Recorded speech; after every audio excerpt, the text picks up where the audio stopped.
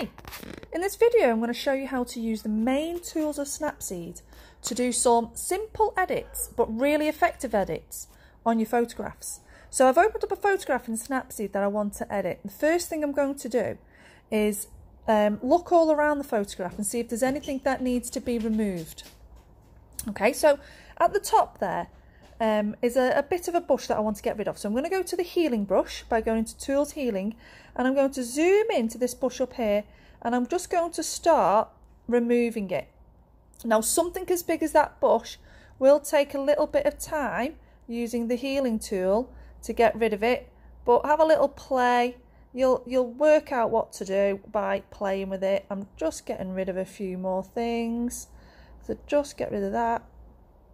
And get rid of that squidge it over there a bit zoom in a bit more okay and now if I zoom back out if I spent a bit more time um, you will see that the bush is gone. Now, that is one thing. I would recommend spending more time than I did using the healing brush to get rid of little minor things like that. Right, the second thing is, if I wanted to keep this as a colour image, I can do a couple of things to the image to make the colours really pop out. Okay, so I'm going to go to Tools and I'm going to go to Tune Image and I can make the brightness a little bit brighter if, if I need to. I can scroll down with my finger across the screen and it opens up all these other options. I can go to Saturation and that makes the colours really pop out. Now that would be enough for a simple edit to just really make the colours pop out of your um, photograph, okay? But I don't want to do a simple edit. I want to do a little bit more complicated edit just to show you a few more techniques. So I've just clicked on the cross button just to show you some more. I'm going to go into Tools.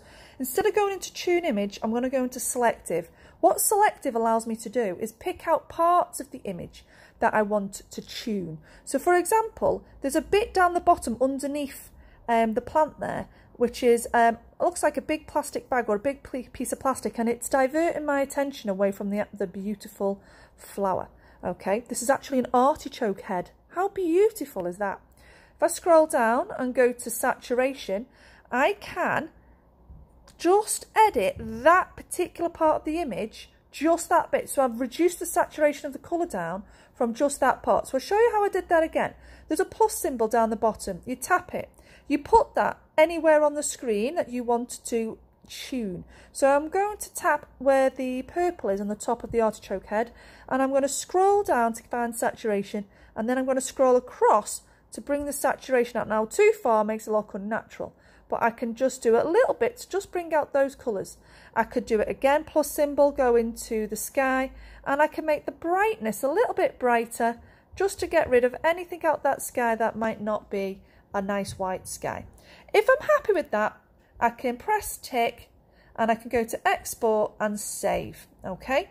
Um, one other way that you can use Snapseed to edit is by making it black and white. So I'm going to go into tools and I'm going to go to black and white tool and it gives me a perfectly nice black and white picture without me having to do anything. But if I scroll my finger across the screen, I can make the brightness a little bit brighter.